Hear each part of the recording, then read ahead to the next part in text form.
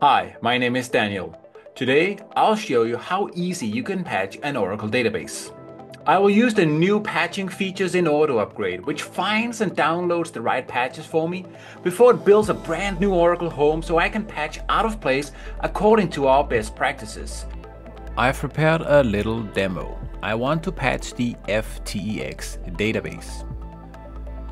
It is currently running 19.21 and in my Oracle Home I also have the Datapump bundle patch and the OJVM bundle.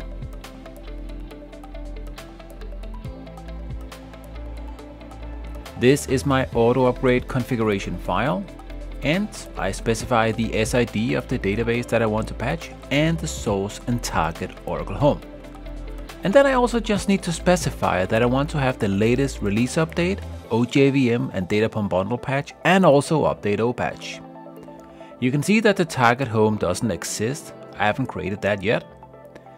And the folder with patches, it's empty except that I have the base release of Oracle Database 19c. No patches yet. I'm gonna start auto upgrade in the load password mode so I can enter my MOS credentials.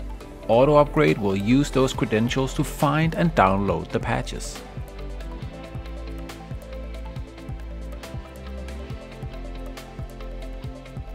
And then I can run Auto Upgrade in Analyze mode. It'll start by finding the appropriate patches and start to download them, using the MOS credentials that I just entered. Then it proceeds to check the database and see if everything is fine for patching. After a little while the analysis completes and I can check the summary report for more details. I look at the text version. So I'm patching from 19.21 to 19.24, all looks good, no manual intervention needed. Let's check the file system. We can see now that AutoUpgrade have downloaded the files that needed to patch this database. So we can go ahead and start auto upgrade this time in deploy mode. Auto upgrade finds the patches that we just downloaded. Good, we don't have to do that again. Then I use the lsj command to monitor the progress of patching. First, auto upgrade will create a brand new Oracle home and install it.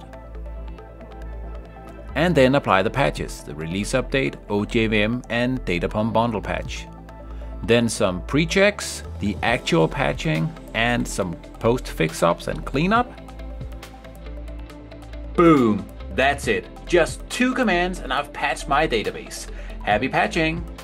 For more information and even more demos, join our webinar on October 24. Scan the QR code or use the link below in the description to sign up. See you there!